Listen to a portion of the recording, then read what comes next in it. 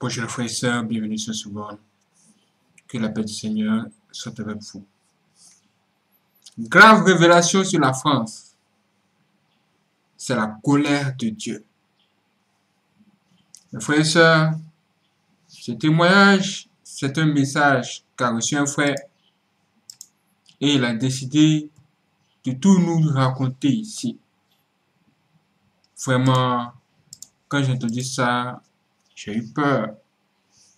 Parce que la puissance de Dieu, ça fait vraiment peur. Cet homme va nous dire comment Dieu est fâché. Comment est-ce que Dieu est fâché contre les gens de ce monde qui utilisent la technologie pour faire pleuvoir sur la terre et pour créer des catastrophes naturelles? Une technologie qui s'appelle la technologie HAB. Et de l'autre côté, on parlera de la France. Cette personne va nous dire combien de fois la France sera frappée par une famine pas possible. il va nous parler de pénurie de nourriture. Parce que lui-même est là. Il va parler en loyalage. Nous allons l'écouter jusqu'à la fin. Et vous me direz ce que vous en pensez. En tout cas, nous devons prier chacun chez lui afin que Dieu puisse venir nous aider à comprendre ça. Sans plus tarder, nous allons prier un peu rapidement et demander à Dieu de nous éclairer. Les yeux fermés, disons tous ensemble, Seigneur Jésus-Christ, éternel notre Dieu, toi le Dieu Tout-Puissant, viens nous recevoir. Nous sommes en ta présence. Viens nous guider. Voici un message qui va venir. Nous avons besoin que tu nous aides à le comprendre. Voici des changements qui arrivent dans ce monde. Nous avons besoin que tu nous soutiennes. Viens nous aider aujourd'hui, Seigneur. Que ton Saint-Esprit ne soit pas loin de nous. Tout ce qui se prépare en contre nous, que cela soit sans effet. Détruis toutes les œuvres du monde des ténèbres autour de nous. Et que ta puissance soit déployée dans nos maisons. Veille sur nos familles. Veille sur ceux qui te craignent. Aie pitié des autres. Tous ceux qui t'ont oublié. Aie pitié, Seigneur. Parce que ta colère, ce n'est pas bon. Donne-nous ton esprit de discernement. Donne-nous ta sagesse. Donne-nous ton intelligence. Tout ce qu'il nous faut pour comprendre ce message. Et si ça vient de toi, donne à chacun de nous un signe qui te laisse trouver par ceux qui te recherchent. Nous te recherchons aujourd'hui, Seigneur. Viens nous aider. Viens nous aider, Jésus. Viens nous aider, ô oh, éternel Dieu notre grand Dieu, notre grand roi, notre sauveur. C'est toi seul que nous comptons aujourd'hui. Personne ne peut nous aider, c'est toi seul qui peux nous aider, Seigneur. L'argent, la richesse, le pouvoir, toutes ces choses sont faibles face à des catastrophes naturelles. Oh Seigneur, que toi-même, Seigneur notre Dieu, tu sois celui-là qui nous sauve qu'il nous sauve de toutes ces intempéries, de tous ces changements climatiques, de tout ce qui a lieu dans ce monde. Protège tes enfants. Amen. Mes frères et sœurs, que la paix du Seigneur soit avec vous. Nous allons écouter ce message. Écoutez vraiment très très attentivement jusqu'à la fin. C'est parti. Je dormais et tout d'un coup, je ne sais pas pourquoi, je me disais que j'étais prêt à rencontrer le Seigneur. Je ne sais pas pourquoi. Et euh, ce qui s'est passé, c'est que je me suis endormi. Et lorsque je me suis endormi, j'étais dans un grand parc, donc j'ai commencé à rêver. C'était comme une vision, quoi. Donc, euh, j'étais dans un grand parc et il y avait de. c'était comme un grand parc beau avec des fleurs, des arbres, tout ça.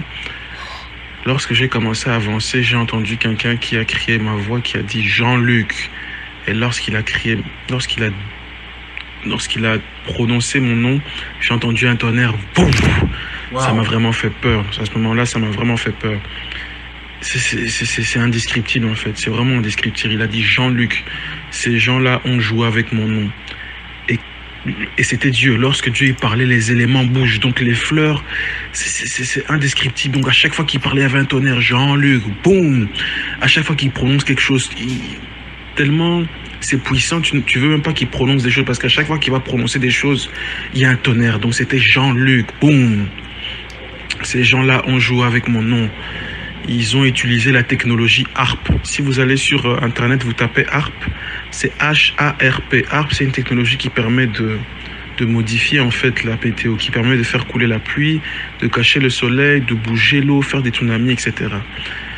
Et euh, j'entendais la voix de Dieu qui disait, ils ont joué avec mon nom, ils ont utilisé des, des technologies, mais c'est moi Dieu qui contrôle toute chose, c'est moi, et quand il parlait, il y avait encore une puissance, boum, à, droite de moi, donc vous voyez la terre, c'est comme si vous voyez la terre qui se fond, vous voyez comme ce qui s'est passé en Allemagne là pendant, il n'y a pas très longtemps, la terre se fond et la terre se remet les arbres vont de côté, la pluie tombe et d'un coup, pendant qu'il parle, la pluie arrête. Donc il contrôlait toute chose, c'était incroyable. Je ne sais même pas comment vous expliquer. Et tellement je vous dire qu'il contrôlait toute chose. À un moment, j'essayais de fuir avec mon corps. Et dit, quand j'essayais de fuir, déjà lorsqu'il parlait, je m'agenouais, boum, donc je tombais par terre. À chaque fois qu'il parlait, je tombais par terre. C'est pas qu'il voulait me faire mal, c'est qu'il est tellement puissant que ton corps ne peut pas supporter de, donc voilà, chaque fois qu'il parlait, je tombais. Jean-Luc, ils ont joué avec mon nom. Vous. Je disais, Seigneur, pardon, pardon, pardon. Parce que moi, dans ma tête, je me disais, j'ai péché. Je pêche tous les jours, je fais beaucoup d'erreurs. Mais je me disais à ce moment-là, pour que Dieu me parle comme ça, c'est que j'ai péché. Et là, il criait, ils ont joué avec mon nom. Ils ont, ils ont utilisé la technologie de harpe, mais c'est moi, Dieu, qui dirige le monde. Boum.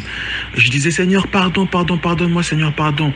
Parce qu'il me disait, allez, va, il a dit, va leur dire qu'il se répand maintenant. Va leur dire qu'il se répand. Ils verront que c'est moi, Dieu, qui contrôle toutes choses. Ils verront que c'est moi, Dieu, qui contrôle. Pendant qu'il disait encore, c'est moi, Dieu. Boum. Il y avait encore un tonnerre. Boum. Je vous dis, c'est terrible. Même les tonnerres qu'on voit ici, hein, partout dans le monde, il n'y a jamais un tonnerre comme ça qui, est comparable à la puissance de Dieu. C'est incroyable. Alors de là, qu'est-ce qui s'est passé? J'ai fui. Donc, lorsque j'ai fui, je suis allé vers un bus. Et lorsque je suis allé vers un bus, il y avait le conducteur. Et je parlais au conducteur. Je disais, n'allez pas par là, n'allez pas par là. Il y a des choses terribles qui vont se passer, n'allez pas par là. Finalement, on est descendu du bus. Et Dieu m'a montré, Dieu m'a fait euh, voir quelque chose que c'est un endroit dans le monde où personne n'a jamais été, que personne ne connaît. Et il y avait comme quatre interrupteurs. Comme vous savez, Dieu ou même Jésus a toujours parlé en parabole. Donc il y avait quatre interrupteurs et je ne sais pas qu'est-ce qui s'est passé. Ces quatre interrupteurs se sont baissés. Vous voyez les interrupteurs là qu'il y a dans vos caves, qu'il y a dans vos caves pour couper l'électricité ou le courant. Maintenant, c'était quelque part dans le monde que personne ne connaît, mais vous savez, Dieu aime bien parler en parabole. Donc ces quatre interrupteurs se sont baissés. Pas. Et qu'est-ce que j'ai vu en vision? Maintenant, je voyais maintenant, c'était la France. Il y avait beaucoup de Français. Ils couraient à gauche, à droite. Oh, et il y, avait une pénurie de nourriture.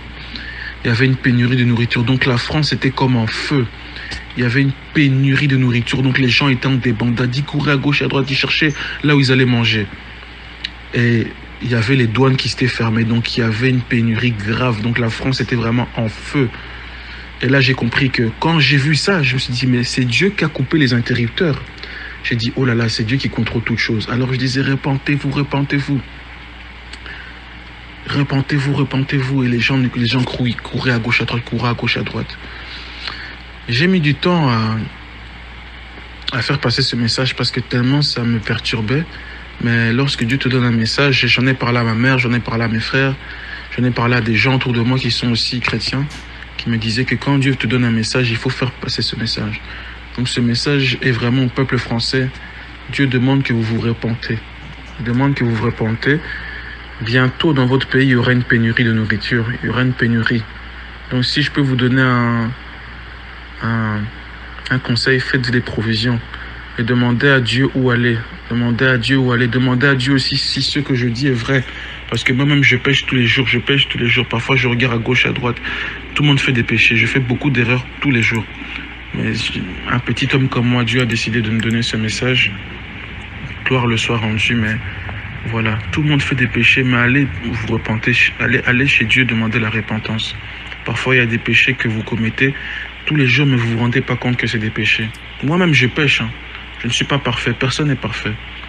Mais vraiment, ce message vient de Dieu. Croyez-moi, ce message vient de Dieu. Avant même que je vous donne ce message, j'avais déjà entendu par deux, trois prophètes qu'il y aurait une pénurie de nourriture en France. Faites des provisions. Regardez même dans l'histoire, on dit, comme on dit, j'ai un ami qui me dit souvent, l'histoire se répète, mais les temps changent ou les gens changent. Regardez les histoires de la Bible, c'est- les mêmes histoires qui se répètent aujourd'hui. Il y aura une pénurie en France. Faites des nourritures, prenez des nourritures secs. Prenez des, des nourritures secs, du blé, du riz, toutes ces choses-là. Et demandez à Dieu la direction, car je suis qu'un homme simple. Je ne suis personne, je suis un petit homme dans ce monde. Je fais beaucoup d'erreurs. La grâce que j'ai, c'est que je reconnais mes erreurs. Allez demander pardon à Dieu. Allez vous repentir et demander à Dieu la direction. Vous n'avez encore jamais vécu une, pénurie de nourriture, vous les Français. Même moi-même, j'ai jamais encore vécu ça. Mais si je vous dis ce message, c'est que Dieu vous aime encore aujourd'hui. C'est que Dieu vous aime encore aujourd'hui. Repentez-vous, repentez-vous. Demandez pardon à Dieu. Repentez-vous. Voilà le message que je veux vous donner. Et faites des provisions. Que Dieu vous bénisse. Et je vous souhaite une bonne fin de journée ou bonne après-midi. Au revoir. Hmm.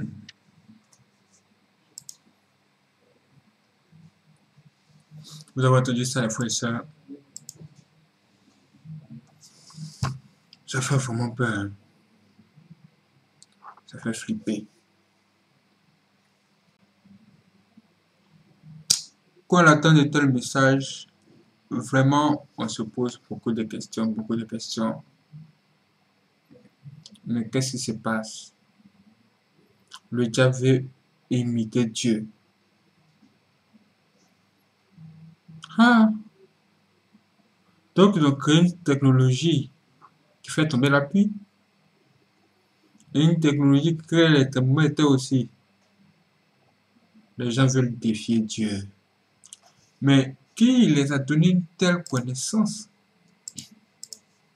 Qui les a donné une telle connaissance scientifique?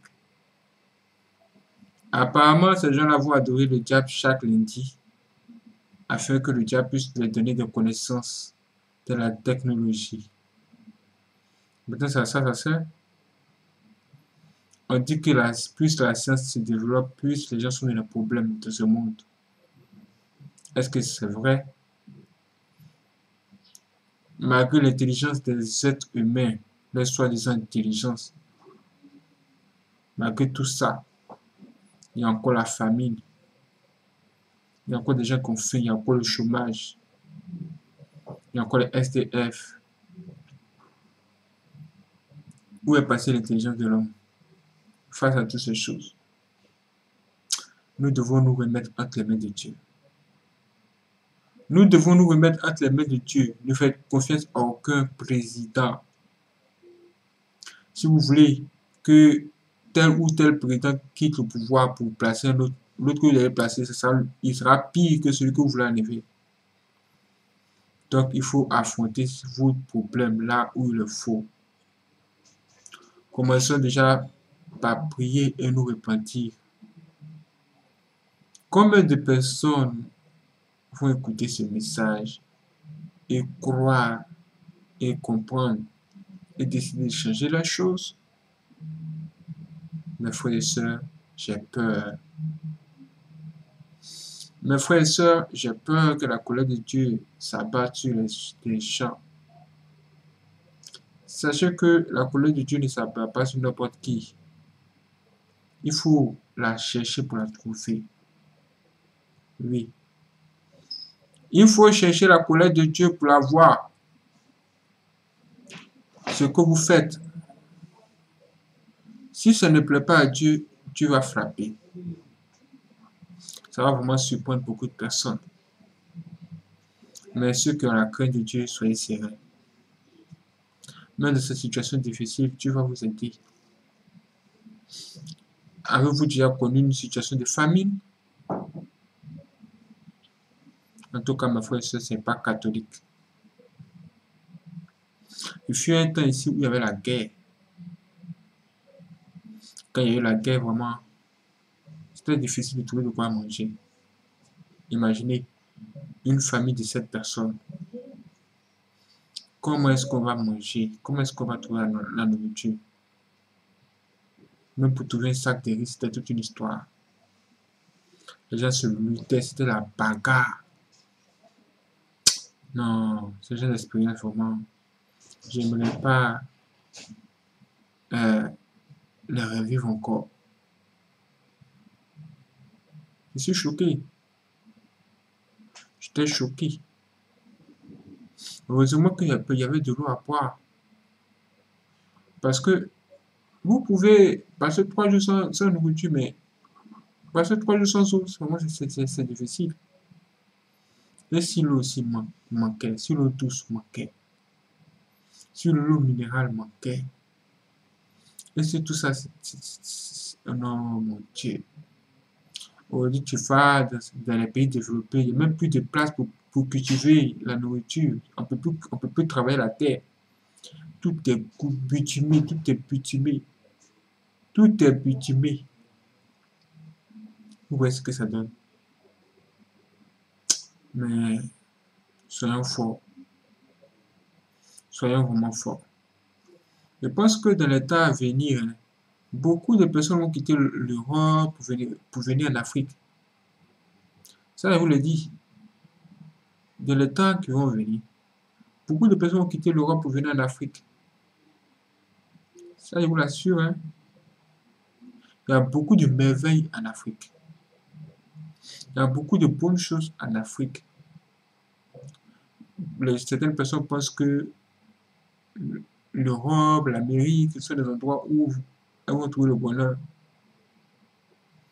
Alors qu'on peut trouver le bonheur étant en Afrique. Vous allez comprendre ça bientôt. Le frère et soeur, priez. Priez. Le monde va très mal. Le sang qui a versé sur, sur cette terre, ça crie à Dieu chaque jour. Et Dieu est dans une colère terrible. Dieu est dans une colère terrible. Mais garde son foi, il attend son temps pour agir. Seigneur, pardon. Abaisse ta colère. Amen. Je vous donne rendez-vous pour la prochaine vidéo. Un autre témoignage puissant encore arrive. C'est parti. Restez connectés sur web. Si vous n'êtes pas abonné, abonnez-vous et soyez prêts.